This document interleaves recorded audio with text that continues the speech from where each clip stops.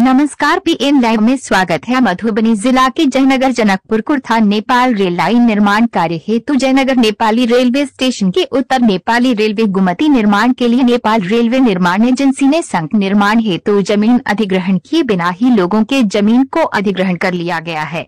भूस्वामी मनोज कुमार साह, पप्पू साह एवं ओम प्रकाश साह समेत अन्य ने बताया कि नेपाल रेल लाइन निर्माण हेतु नेपाली रेलवे गुमती को पूर्व के स्थान से हस्तांतरण कर उत्तर दिशा की ओर कर दिया गया।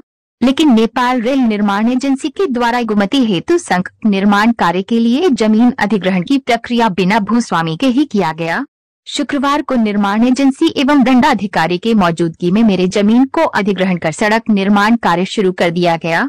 भूस्वामी ने आरोप लगाते हुए कहा कि मेरे ज़मीन का निबंधन पिछले 40 साल पहले हुआ है और मैंने बीते साल आर्थिक तंगी के कारण मैंने अपनी ज़मीन की बिक्री की है। बावजूद रेलवे के अधिकारियों ने मेरी ज़मीन को अधिग्रहण कर लिया है जबकि मुझे अब तक किसी तरह का कोई नोटिस या ज़मीन का मुआवजा नहीं दिया गया है। वार्ड नंबर तीन मेरा घर मनोज कुमार शाह नाम है अ, मेरा ज़मीन यू टर्न के पास है जो कि उन्नीस में वो ज़मीन हमारे दादी के नाम से खरीदा गया था, दादाजी लिए थे। और अभी जो है सो, एक कट्ठा ज़मीन हम उसमें से बेचे भी थे, डीएम के आदेश से।